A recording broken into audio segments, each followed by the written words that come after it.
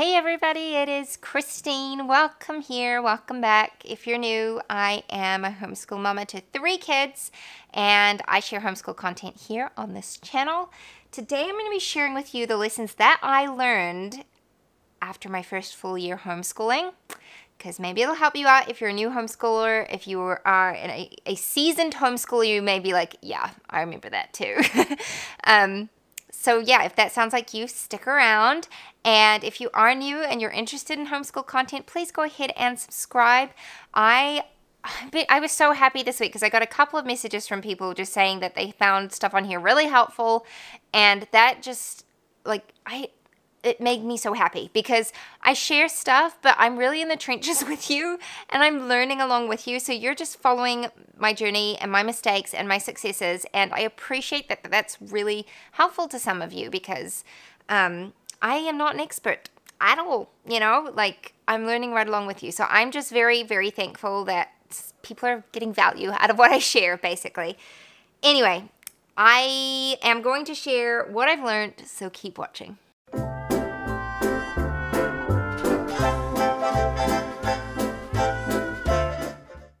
This last school year was my son's kindergarten year. He was five. I had a three year old daughter at the time and a one year old, which, I'm not even gonna lie, that was crazy. It was hard with the one year old. Um, so last year was very much about finding our footing, find, finding what worked and what didn't. It's also the year of craziness, as we all know, which I mean, it affected us, but not drastically. I live in New Zealand. We actually don't have any community cases here, and we haven't for a couple of months now, um, which is I'm very thankful for. Um, so that just it made it for a funky year for everybody, but it didn't like change it that much for us. Um, if anything, it made it kind of easier because we had more time to focus on learning to homeschool. Uh, I was homeschooled myself for a chunk of my uh, student life but that does not make someone an expert on homeschooling. Um, so we all have our lessons to learn, and obviously all of our children are different. And so, yeah, this is what I have learned. I've written down a few things. The first one is to be flexible, and I kind of knew that going into it, but I have a type A personality, and so it can be a lot harder to like actually follow through on that. but anyway, learning to be flexible to and this probably applied more because I had a baby than it did to my actual children, like my older kids. They were actually okay. There were definitely times where I had to step back because my son was frustrated with things like learning to read, and we had to like stop for a few weeks and just have a break. Um, but most days it was because the baby wasn't cooperating and we just had to take a break and try again later. So, learning to be flexible is so key. It's so important.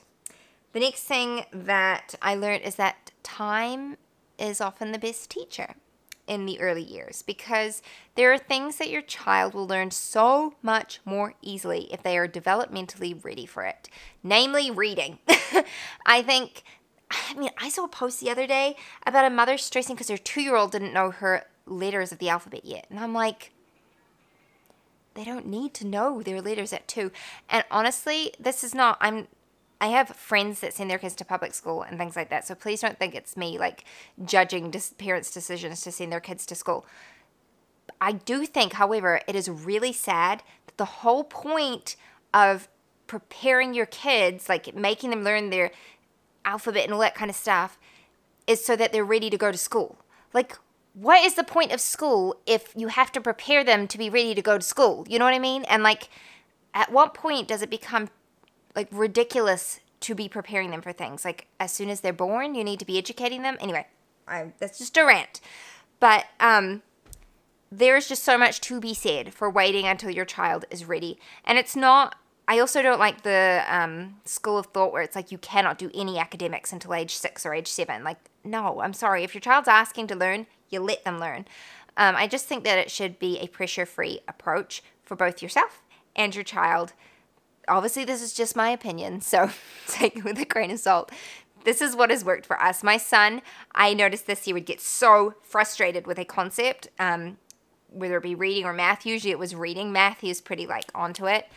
But with reading, and so we'd stop for a few weeks and then we'd go back to it and he would have aced it and jumped ahead by miles. So I actually had someone comment about this on one of my other videos and I was like, yes, yes, agreeing with that because they were saying, you know, with in her experience, kids just sometimes need a break and then they will pause or and then they'll jump ahead and that is normal. There is nothing that you're doing wrong. It's just the way that kids learn and it's just so much nicer when they're ready for it, you know? Okay, the next one is to work on your own schedule. Last year I followed the school's terms here in New Zealand, which are 10 week terms with two week breaks throughout the year, and then we have like a six to eight week summer break. And I hated it. it was horrible. It was so long. 10 weeks was just too long of a school term for us.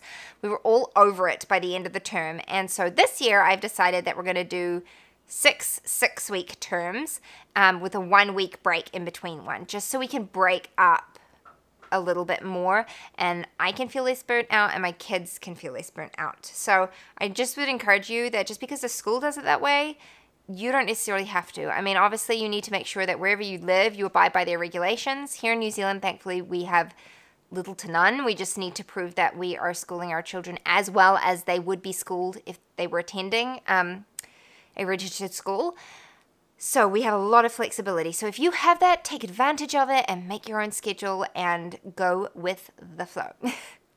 and then finally, the last thing I learned is that to chop and change between curriculums is fine. It's totally fine.